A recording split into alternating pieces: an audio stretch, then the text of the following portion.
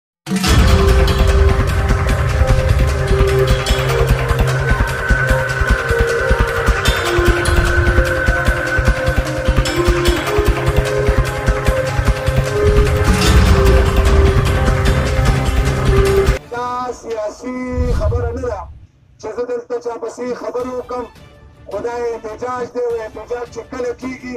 دا د نوکر خلاف نه کېږي